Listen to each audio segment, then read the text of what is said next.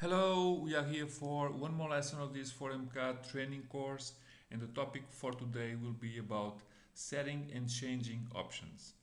So this is a, a lesson to tell you that uh, you know already but uh, it's it never uh, it's always important to uh, say this because uh, you can customize 4MCAD in a very wide number of ways so uh, this is one more way uh, where or how you can act uh, with the program.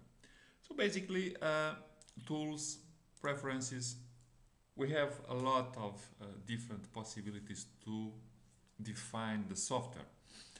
And we will not see function by, by function because there are too many functions. So just a quick look over this.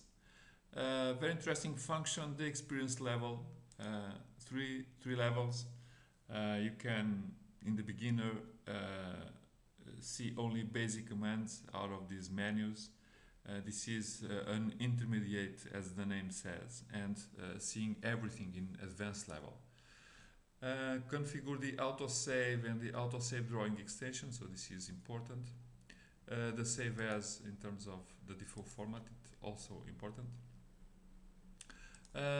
paths for different things inside so you can uh, look around and see where, where are things and change them. Uh, about the display uh, track lines in terms of the command bar, the font size. Uh, there are uh, the color scheme also it is something which it is important for some users. display the prompt boxes in, in, in the menu so uh, sometimes you have these uh, little windows appearing in your screen. Some people like, some people don't like, so you can take them out or not.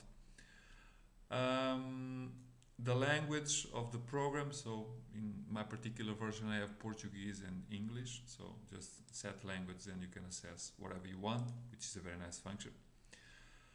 Uh, a right click customization, so it is important also because some people like one way, others uh, different. Uh, profiles very interesting function because you can have uh, several people working in your machine. And uh, this will make a, a profile a, a, profile configuration for each one without going uh, function by function uh, changing the look of things sorry. Printing so devices and these kind of things that we've seen in one of the previous lessons about the styles and the settings for uh, printing. In terms of snapping, so uh, sizes, colors and behavior of uh, these snaps, the cursor and the markers. clipboard, so the to manage uh, these DWG formats, okay? And about selection in terms of the grips, in terms of the uh, of the pick boxes, so the size for both colors and the behavior uh, of these things okay? So you have a lot of things here so it's a question of uh, looking around a little uh, every time you need.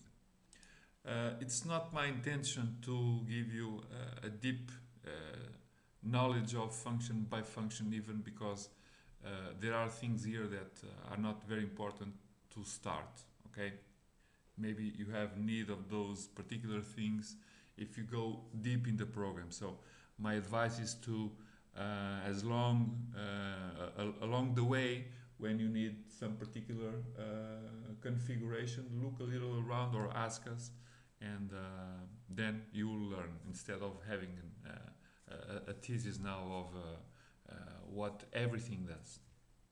Even because, if you remember, besides these configurations, you have more going down here. Uh, right click uh, with the mouse.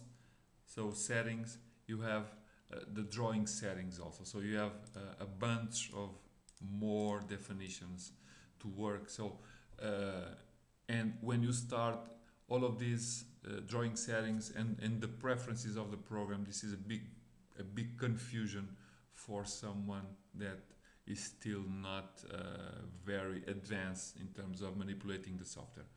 So the idea here it is uh, go and test along uh, your uh, learning curve. And if you have problems, contact us, and uh, we are here to help you with without uh, any issues. So just contact us.